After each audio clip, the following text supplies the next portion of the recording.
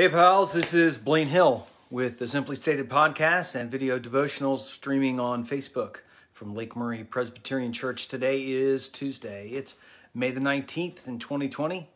Um, big news is still coronavirus. Uh, going to read to you from Deuteronomy today. Uh, I know may seem a jump, but this is in Deuteronomy. Deuteronomy. Try to say that twice fast. Deuteronomy chapter 6, it's the 10th to the 12th verse. Uh, helps to know. Uh, Moses is leading God's people. He's led them out of slavery. Uh, they've been wandering in the desert and they're about to head into the promised land, the land that God promised them, to return to the land of Abraham, Isaac, and Jacob. So, this is in chapter 6 of Deuteronomy. When the Lord your God has brought you into the land that he swore to your ancestors, to Abraham, to Isaac, and to Jacob, to give you. A land with fine, large systems, the cisterns. A land with large cities you did not build. Houses filled with all sorts of goods that you did not fill. Hewn cisterns that you did not hew. Vineyards and olive groves that you did not plant. And when you have eaten your fill, take care that you do not forget the Lord who brought you out of the land of Egypt, out of the house of slavery. Uh, so, what I want to talk to you about today is taking care not to forget the Lord. Um, the, the, book of Deuteronomy is a book of law. It's the second telling uh, of the law for God's people. And really, what it does is it sets up God's people for when they enter into prosperity. There's still uh, wandering out. The setting is they're wandering out in the wilderness, and God is setting them up for how to live in abundance um, and to do so faithfully, which is surprisingly tempting to not live faithfully. And the key is that we take care not to forget the Lord. And I, this is important for us um, because of two conditions. One is is larger. It's just pat. It's it's past before, and I believe it'll be after this Corona pandemic. The first is um, our world, and certainly in the U.S., is incredibly blessed, materially blessed. Uh, we have an abundance uh, that uh, has been provided for us from past generations. And a lot of that is the deliberate choice of previous generations to make sacrifices, to save, to establish uh, things like uh, cities or government, to establish those to hand on to the next generations. And, and if we're really candid about American history, well, really human history, a lot of the things we benefit from come from negative things that other people were forced to do. And that, that's just part of history. Here in the U.S., um, we benefit from the forced labor of other people in the past, in addition to the willing gifts of, of people. We enjoy benefits that we didn't earn. Uh, we weren't even alive to contribute to them. They were given to us by people in the past. Uh, here in South Carolina, here in the U.S., the truth is we enjoy a material abundance that is unsurpassed in human history. Uh, we have access to incredible things, things that the kings didn't have access to. I'm enjoying air conditioning today. It's a little muggy, uh, but um, we have air conditioning. It's, it's like a miracle 150 years ago. Um, and we live in a system of laws that gives a kind of uh, security that is really unusual in human history. Now, of course, there, there are people uh, who lack. You know, our school district is sending out school buses to carry school lunches to kids uh, who otherwise would go hungry. So there are definitely things that are wrong in our society, um, but it's incredibly abundant. We live in one of the most uh, abundant times, the most abundant time in hum human history. Um, and if I mentioned our legal system, hey, there's lots of stuff that's not square and uh, level. Um, you've probably seen the, the case of Aubrey um, Ahmaud Arbery, uh, who was killed in Georgia. It took the police 74 days to charge men. Uh, you know, something's out of square there. So I'm not saying everything's perfect here. But if we are, are, are really candid, it's important that we recognize, recognize that we live in a time and place of incredible provision and abundance. Uh, here's, here's a little lighter example, right? Uh, how many of us have an attic or garage full of toilet paper because we stocked up on toilet paper? We were worried about it being available. Or if we think, um, think about how shocking it was. You know, when you a few weeks ago, when you'd go in the grocery store, and I remember being astonished. Sometimes there wouldn't be milk, uh, and then pretty regularly the shelves would be half full, and that felt totally weird. It's like every day was a snowstorm uh, because almost every day of the week, normally, we can walk into a grocery store and we can pick between like eight kinds of cow milk, uh, not mentioning soy and almond milk. I mean, we just have an incredible provision here in this country. Um, and so we enjoy a real material abundance. And our, and our passage today in Deuteronomy is about how to live faithfully in material abundance. Um, and the key is to take care that you do not forget the Lord. And I bring this up because we're at a transition point.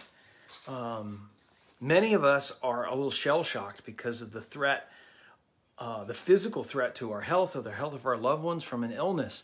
And we're not used to that. And we're not used to that because so much of the threat of illness uh, has been buffered against in our society with modern medicine.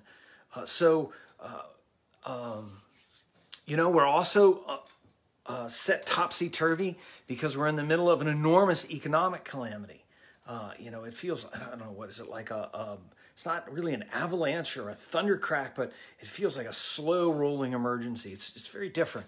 None of us have lived through an economic situation uh, like the one we're facing now. I mean, a few people were alive in the 30s and were children during the Depression, but this is different than that. Um, and then we have a lot of questions about the inefficiency or the overreaching of government. Man, there is just a lot going on that is really upsetting and disturbing. And now we're re-entering, re-entering into social engagement, active social engagement. And in a way, we're, we're kind of like the children of Israel a long, long time ago. Uh, they had been wandering in a wilderness. We're stuck in a wilderness. Uh, and they're getting ready to enter into abundance. Uh, they're, they left behind a great difficulty. And God willing, you know, we're getting ready to enter into better times. Um, you know, hopefully some treatments for this illness will be developed. May, you know, there's a good possibility of a, a vaccine. Uh, so we have reasonable hope for those things. And so, how do we live as we're about to enter into a new time? We're in this transition. And how do we live well with abundance? What we need to do is take care not to forget the Lord. Uh, it is the Lord who allowed us to live in a time of abundance. Uh, and uh, it is the Lord who stains us in our difficulty. And it's very easy if, as we return to abundance uh, to forget the Lord. And we need to take care not to forget the Lord. And one of the ways to do that is to acknowledge that it is the Lord who provides for us. Of course, we do that through the gifts that God gives us human ingenuity, uh, work, uh, investigating God's creation. Um, but we're, we're about to make some big changes. And so, um, you know, we're, you're about to enter hopefully into a time where you can gather again with friends we can come together to rejoice or even be able to come together in grief, frankly. You know, you're going to be able to dine at a table that you haven't set, to eat meals that you didn't prepare, um, that others have prepared. We need to take care not to forget the Lord. You know, the time is coming soon uh, when you can again sit in the barber's chair or you can get your hair dyed back to its natural color, right? I, I, I know, you know there's roots are growing out. I've talked to a couple friends and they're ready, ready to get that hair fixed. Look, all of those things that we are, um, we're accustomed to. It seems we're making a transition back to many of them. We're entering into a, a time where we can enjoy the things of life that are part of uh, the abundance that we enjoy. And it's key that we take care not to forget the Lord that we remember that God provides for us and that God loves us. We have to take care not to forget the Lord. And I would say the, the first way to do that is simply be sure to give thanks. Uh, be sure to give thanks for the good things uh, that you're, you are able to enjoy during the quarantine. Maybe you've discovered some new things that you didn't know uh, you would enjoy being closer. I hope that God's brought that for you. But also, be sure to take care to not forget the Lord uh, when uh, things turn up, when things pick up, when we can show up physically for each other again. Take not to care not to forget the Lord. On Thursday, I, I'm going to try to talk a little bit more about how to do that. But today, I just want to urge you to take care not to forget the Lord. Well, friends, uh, this Sunday, May 24th, we're continuing our same worship schedule. We will be worshiping uh, remotely, uh, virtually, um, on all the usual channels at 8:30. And then at 10:30, we'll still be streaming our services, but also we're having drive-in service. The key to that is that you you drive into our church facing the office. Stay in your car. Uh, please stay in your car. Just turn it on run the air conditioner if you need to. Um, and, and, then tune in to 87.9. We're broadcasting the service. We got a new microphone this week, so that, um, we hope that if you're streaming or uh, parked in there, that it'll be a little more clear. Um, and then big news on the 31st of May, our plan is to, for our 8:30 service, to res- resume a socially distant uh, in-person worship in our sanctuary. What does socially distant mean? Well, we're going to have places to sit laid out in the sanctuary. So we're not just going to sit wherever we want, and we just ask, please sit where, we need you to sit. We don't want anyone to get sick. The bulletins will already be there. The ushers won't hand them out. Um, the uh, we're going to ask everyone to wear a mask when we're uh, in there. And and I know there's a lot of talk. Do we need to wear a mask? Look, other people don't want your cooties. Is what it boils down to. We're just looking out for each other and loving each other by doing that.